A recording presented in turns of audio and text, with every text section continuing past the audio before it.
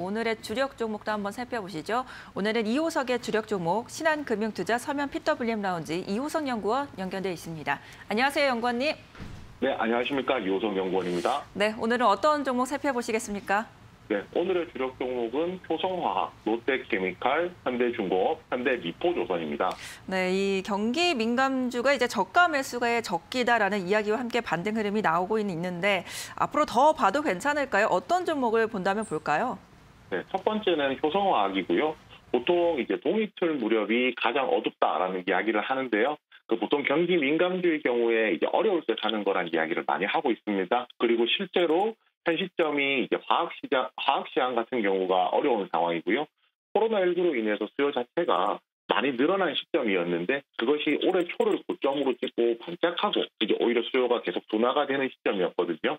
그리고 뭐 공급 병목 현상이라든지 운임 이슈가 발생을 하면서 추가적으로 비용 부담도 계속 이어졌었고요. 근데 이게 반대로 뒤집어서 생각하면 이제 2022년에는 내년에는 정상화될 확률이 굉장히 높다라고 보고요.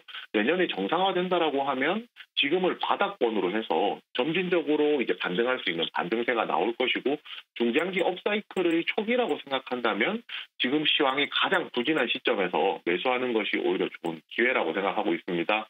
그 코로나19 이후에 이제 미국의 프로판 생산량 자체가 성, 성장세가 생산량 자체가 좀 줄기 시작했거든요. 거기에 뭐 운임 상승이라든지 하는 비용 이슈 때문에 미국에서 우리나라 같은 경우에 대부분의 프로파를 수입하고 있기 때문에 비용 부담이 굉장히 많이 커진 상황이었고요. 그렇지만 2022년 내년에는 미국의 원유라든지 가스 생산량 자체도 많이 늘어날 것이고 그렇게 본다면 이번 동절기가 마지막으로 이제 원가 부담을 덜 수 있는 기회가 될 것이라고 판단하고 있습니다. 그리고 이제 베트남의 신공장 건설하고 증설했던 부분도 있었는데요. 뭐 셧다운이라든지 이 초기 가동 문제가 발생하면서 생각보다 이제 수율이 나오지 않았던 상황이었거든요. 그런데 이제 11월부터는 생산량 자체가 가동률 자체가 많이 올라가고 있는 상황이고요. 여기서 좀 추가적으로 생각해 볼 것이 2015년도에 이제 효성화학이 한국의 공장을 만들었을 때 그 한국 공장의 가동률이 떨어진다라고 해서 실제로 주가도 빠지고 실적도 밀렸던 경험이 있었는데요. 이제 오히려 이제 그 다음 분기로 넘어가면서 가동률이 정상화되면서 실적도 올라오고 주가도 반등이 나왔던 구간이 있었습니다. 그 부분 생각해 본다라고 하면 오히려 이제 같은 논리로 놓고 보았을 때 이번에 베트남 공장도 내년이 내년 초기로 넘어간다라고 하면은 훨씬 나은 흐름을 보여줄 것이기 때문에 조성화학에 대해서는 긍정적인 시각을 가지는 것이 맞다고 생각하고요. 네, 두 번째 종목은 현대중공업입니다. 아시다시피 올해 선박 발주량이 급증을 했었는데 이 이슈가 좀 단발성이 아니라고 지금 판단을 하고 있습니다. 지난 10년 동안 보면은 2012년, 2016년 그리고 2020년 한 세 차례 정도 침체 발주기가 발주 침체기가 있었는데요. 이 기간에는 이제 많은 조선소들이 탈출이 되고 살아남은 조선소들도 이제 공급 능력 자체가 많이 떨어지게 되거든요.